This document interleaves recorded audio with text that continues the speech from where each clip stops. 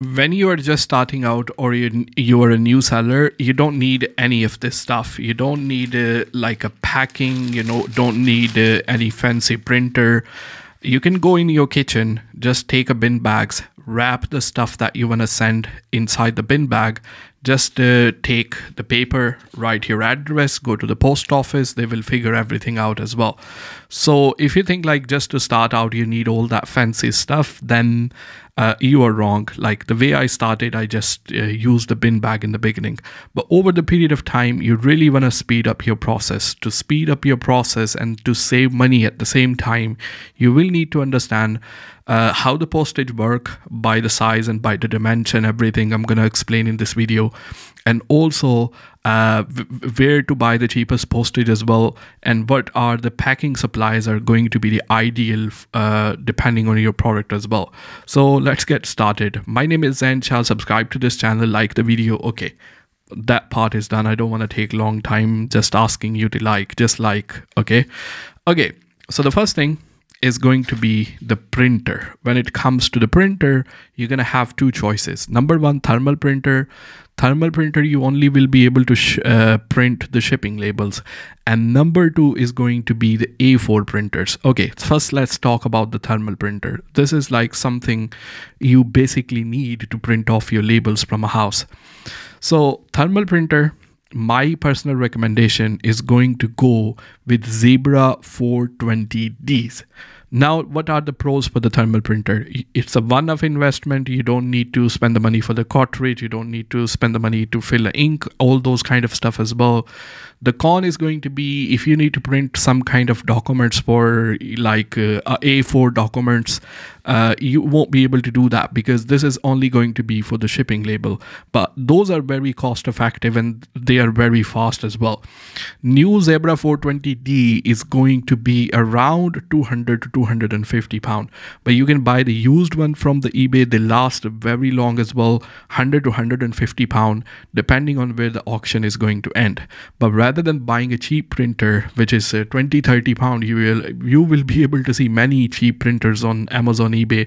But trust me no matter how long i will take to explain them like those printers are not good you won't understand unless you start using those printer.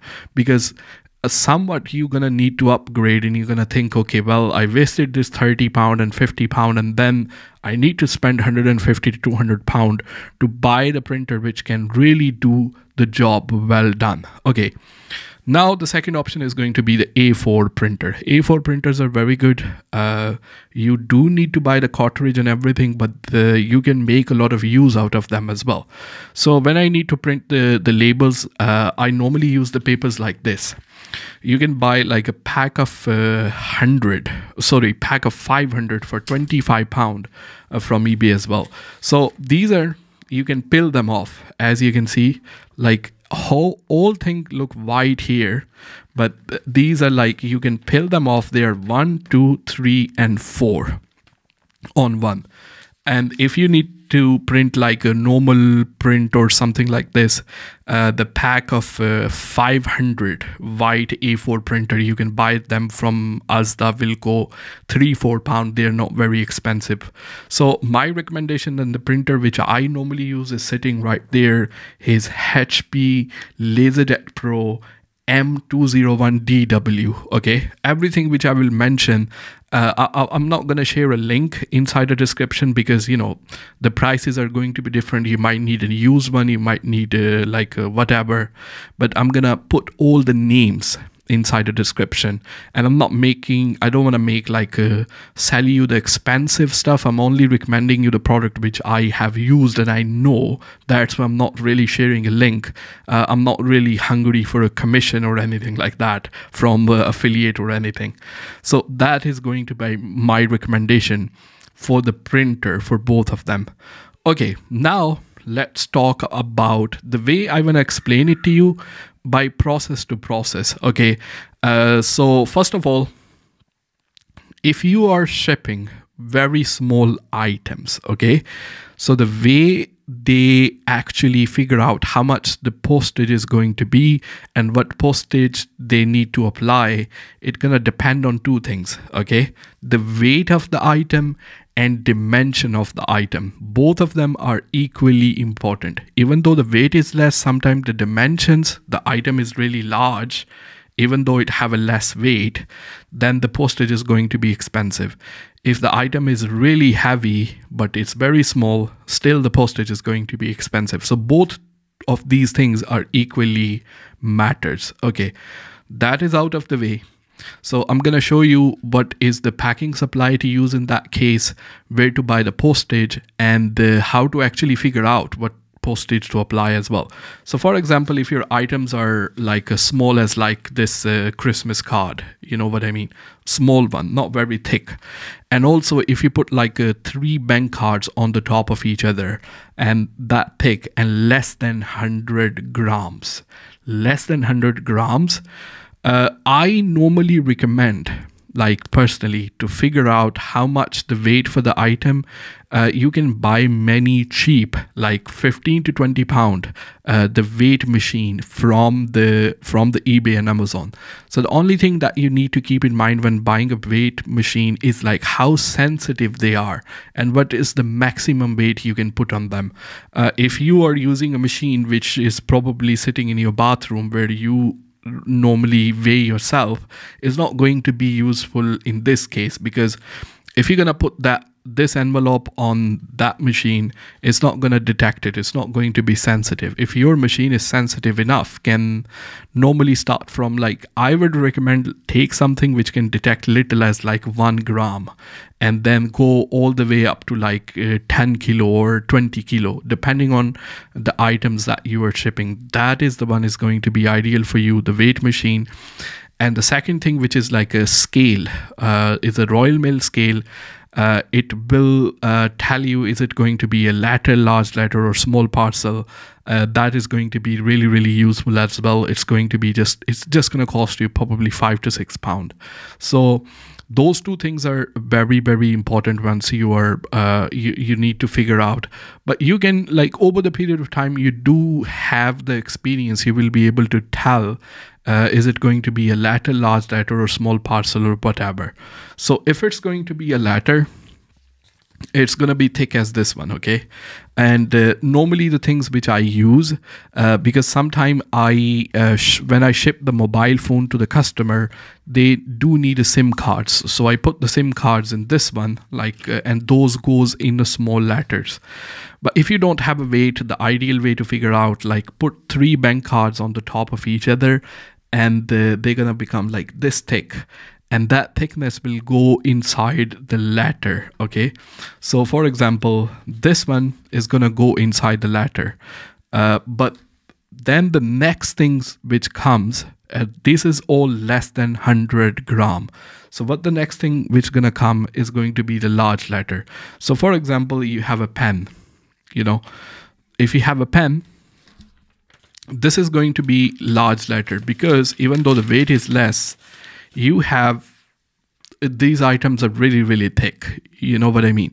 So this is going to be inside the large letter. Small parcel is uh, going to be less than 2 kilo or 2 kilo. Uh, so I, I give you ideal example. There is not much difference between large letter and small like the max of large letter and the starting of small parcel is the difference is very small. So for example this mouse right here that will definitely will be a large letter because it's not too uh, like it's not too thick. But this mouse right here this is going to be a small parcel because it's thick even though the weight is very equal for both of them.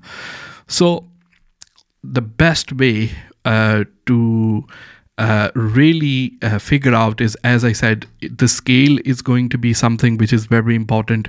And you can also take a measurement tape. Like a measurement tapes are not very uh, expensive. You can even buy from a Poundland for one pound as well. So ideally for the packing supplies this is something i can recommend. Uh, for for for the small small letter which is going to be this one you can buy them from Asda probably 85p I, I buy them and these are pack of 50 and if you are sending a large letter so the for the large letter is like depending on if your product is fragile then you need something which is padded which have a bubble wrap inside. You can also buy those from ebay as well. Those are not very expensive. And uh, without the the the, the padding uh, that one is going to be a little bit cheaper. So something like this this is ebay branded. I get them for like not very free you have to have a store subscription to get these one. But you get if you have a store subscription you get uh, like a voucher. You can buy uh, the branded packing supplies as well but these are useless. Like i these are very expensive. I don't recommend uh, buying these. So ideally if you don't have a store subscription you will be able to get something like like these. These are like no ebay or anything written on them but these are pretty cheap as well. These are going to be if you don't need like a like a padding uh, thing.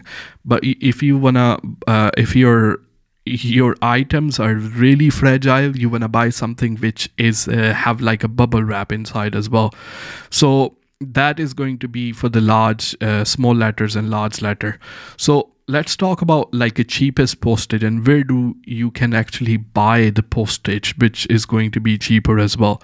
So first of all once you get the order on ebay uh, you can print the postage off from ebay as well and or you can link your ebay account with the the click and drop royal mail click and drop. So the way what the click and drop is it link with your ebay account. Anytime when you get the order on ebay it will uh, be uh, inside the click and drop where you can apply the postage on everything and then you can just print all the label in one go. And then the order from the ebay will be marked as dispatch. Uh, both of them have a similar price. Uh, so for the large letter and the latter, Royal Mail is going to be the cheapest one. Like that's the end of story. Uh, there is no other company who will offer you the better price for the, your letter and large letter. But if you have uh, a lot of uh, quantity as I said in the beginning, like uh, about the free thermal rolls that you can get from the Royal Mail, did I say that? I don't know. For the thermal printer, if you have a thermal printer, you will be able to get free rolls for those from a Royal Mail if you have a business account as well. But it the price is not going to be much difference unless you have a, a, good quantity so for the letter and large letter the royal mail is going to be the cheaper for the small parcel what I personally recommend that you do is you buy the postage from Hermes. And I know a lot of people gonna say, oh, you know, Hermes is not good, they lose the parcel, all those kind of things. I've been using them for longer period of time, and yes, they do lose out, but over the period of time, the money that you actually save on the postage is actually worth it as well.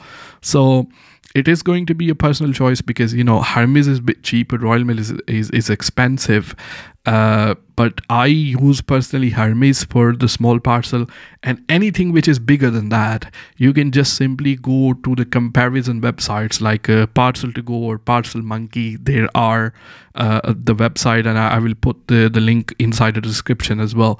So you go there, you put your uh, the weight for the item, dimension for the item, and it compared the postage across all the platform and then you will be able to just simply print the postage from there as well so that is something which I personally recommend. And about the business account, you can get the business account from Hermes, you can get the business account from Royal Mail as well. And you, to in order for you to save money on those, you will have to have some kind of quantity to actually back those things up as well. So without the quantity there there there isn't any requirement. They will ask you like if if you ship regularly if you are an ebay seller you ship uh, regularly they they might ask you if you send like uh, hundred parcels or hundred letter large letter in the week. But when once i got the account like i wasn't sending 100 but i still have it as well so then with that what you have to do is like if you have a business account you put everything inside the, the bag in a gray bag which i'm going to show you in a minute. Uh, so the bag like this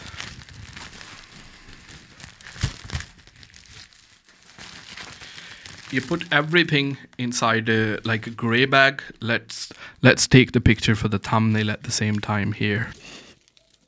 Yeah so you put everything inside the gray bag and you will have to either you can book the collection depending on with with the business account you can either book a collection or you can drop it to your any local post office as well and the royal mail will take it from there as well. But if you don't have a business account if you print uh, let's say uh, non sign for postage. Like if it's signed for then you have to take it to the post office. If it's a non sign for even if it's a, a parcel there are the boxes like a red boxes. You can just drop them inside the red box. And there are now the bigger boxes as well where you can just simply uh, put your small parcels as well. So those are not very uh, i mean those are at many multiple locations as well. So if you're printing it from ebay or if you're using click and drop then you don't really need to go post office every time. You can just put in a, in a red box unless you have a sign for postage. And uh, also uh, to get the business account you just have to call the royal mails and royal mail and then you know over the phone uh, the business number is going to be there and uh, they just do the credit check and then you gonna get the invoice after uh, after two weeks or in in a month depending on in the beginning they're gonna take uh, like after two weeks and then you can do it for the monthly basis as well. Uh, but also the other couple of things. So uh, normally when i ship like a, a, a letter or large letter I know that cost of packing normally I deduct it like a 10p because the envelopes like this are not very expensive like these ones or like these one or the printer and the ink everything you will have to really consider. But if i have something like a small parcel where i need to use a cardboard cardboard are normally expensive. So i get some card i, I don't ship many small parcels uh, like where do I need a box? I, I ship the mobile phone, then they come with the box as well. So with the box, I can just simply throw them inside here. But uh, if I need to buy like a cardboard, uh, I have them enough, which I get them for free from eBay again with the store subscription, or you can go to your local shop as well. But if I have to buy them, you can buy them from eBay as well. I normally keep like a one pound uh, in my mind like the cost of packing is going to be one pound because those are very very expensive as compared to this one. I mean obviously one pound is not very very expensive but as compared to these ones those are going to be a bit expensive as well. So that's all about it. If you have any question feel free to ask uh, in in the comments. Make sure you like this video all that kind of crap. Do that. Uh, and uh, have you noticed like I don't spend a lot of time asking you to subscribe in the video? My like always the point is to go straight to the point. And if you like that kind of approach like uh, yeah now i'm asking you to subscribe and the video is ended. And make sure you check this video right here because this is the masterclass of if you want or somebody who don't want to deal with all these kind of things. You just simply want to drop ship from amazon to ebay. Uh, this is the masterclass everything you need to know. And I, I will be posting a lot more videos about the product example which you can actually use. So make sure you subscribe